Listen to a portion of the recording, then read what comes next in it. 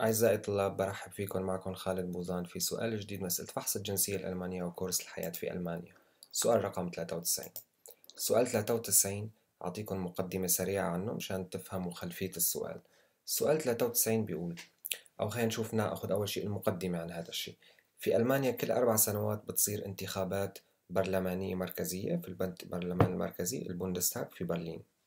في هالانتخابات بتنافسوا مجموعة من الأحزاب. الأشخاص المواطنين اللي ألمان اللي بيحملوا الجنسية الألمانية بيروحوا بينتخبوا. لما بننتخب نختار صوتين عنا الصوت الأول والصوت الثاني.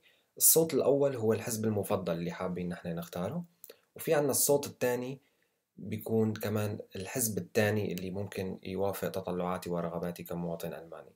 فإذا الصوت الأول اللي بعطيه أنا لحزب بيكون هو الصوت الأهم والصوت الثاني كمان هو صوت مهم ولكن الأقل وزنا وثقلا في الانتخابات. إذا أهم صوت دائما هو الصوت الأول وبعدين بيجي الصوت الثاني. لما بيصير فرز الانتخابات الأصوات طبعا بيشوفوا الصوت الأول راح لأنا أحزاب بالدرجة الأولى وبعدين بينتقلوا للأصوات الثانية أنا حزب جاب. بالأصوات الثانية على عدد من الأصوات. طبعا مثل ما قلت لكم إذا الصوت أول وصوت ثاني لما واحد بينتخب. الصوت الأول هو الأهم والصوت الثاني هو الأقل أهمية ولكن كمان له دور في الانتخاب. إذا هيك بيتم الانتخاب في ألبانيا للبرلمان المركزي. يعني لما بنروح ننتخب ورقة الانتخابات بحق لي أعمل أنا إشارتين ضرب. الأولى على الحزب الأول اللي أنا حابب أنتخبه والثانية على الحزب الثاني اللي أنا حابب أنتخبه. السؤال شو بيقول؟ Je Zweitstimmen eine Partei bei einer Bundestagswahl bekommt, desto mehr Sitze erhält die Partei im Parlament, b. weniger Erststimmen kann sie haben, c. mehr Direktkandidaten der Partei ziehen ins Parlament ein, d. größer ist das Risiko, eine Koalition bilden zu müssen. نترجم هلا هالحكي. يه ما كلما كان أكثر ما أكثر. Zweitstimmen هو الصوت الثاني قلنا. الإرستشتمن هن الأصوات الأولى. شرحت لكم إياها هلا. eine Partei حزب؟ bei einer Bundestagswahl عند انتخاب برلمان المركزي. bekommt يحصل. مين الحزب؟ دي بارتاي eine Partei تحصل على desto إذا je mehr desto كلما كان أكثر. عدد الأصوات الثانية. كلما كان شو نشوف هذا الاحتمال؟ كلما كان ماذا؟ كلما كان mehr Sitze مقاعد أكثر erhält تحصل يحصل دي باتا يحصل عليها الحزب im Parlament في البرلمان. إذا كلما كان عدد الأصوات الثانية أكثر اللي بيحصل عليها الحزب كل ما كان شو؟ بيحصل على عدد أكبر من المقاعد زيتس مقاعد وين؟ في البرلمان. إذا هي أهمية الصوت الثاني في الانتخابات.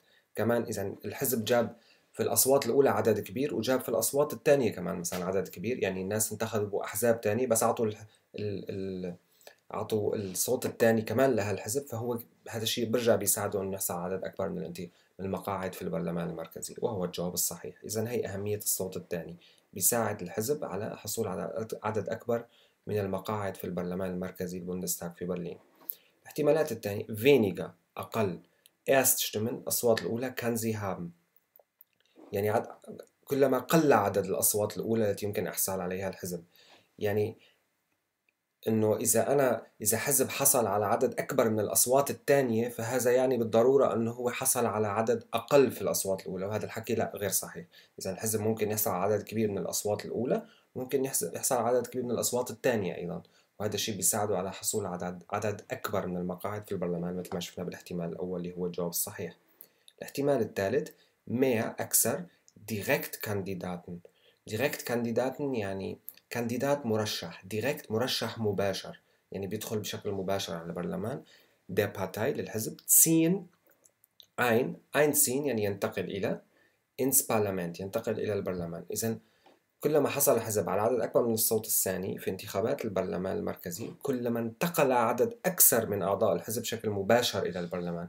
هذا الحكي غير صحيح. طبعا هيك في هالحالة ما بينتقل عدد أكبر بشكل مباشر إلى البرلمان وإنما بيتم فرز الأصوات أنا على عدد الأصوات بيتم تحديد عدد المقاعد اللي بيحصل عليها كل حزب نسبة إلى الأصوات الأولى والثانية اللي أخذها الحزب الاحتمال الرابع größer أكبر Risiko Risiko الخطر المخاطرة المجازفة das Risiko eine Koalition شو قلنا؟ قلنا ائتلاف ائتلاف ائتلاف يعني مجموعة من الأحزاب اتحاد مجموعة من الأحزاب. zu müssen أن يشكلوا müssen الوجوب أو يجب. كلما كانت المخاطرة أكبر باحتمال وجوب تشكيل ائتلاف شو معنات هذا الحكي؟ كل حزب لما بيدخل الانتخابات بيتمنى إنه هو يحصل على الأغلبية المطلقة للأصوات مشان ما يضطر يدخل تحالف مع حزب تاني ليشكلوا الحكومة. فإذا حصل هو بنفسه على عدد كبير من الأصوات وشكل الأغلبية المطلقة في البرلمان فهو ما عاد بحاجة حزب تاني ليشكل معه ائتلاف ويخليه يشاركه في الحكم. وإنما هدف الحزب دائما إنه يحصل بنفسه على الأغلبية المطلقة. اذا كل هل هذا يعني إنه كلما كانت عدد الأصوات الثانية أكثر زاد الخطر إنه هو يضطر يشكل تحالف مع حزب تاني؟ لا هذا الحكي غير صحيح.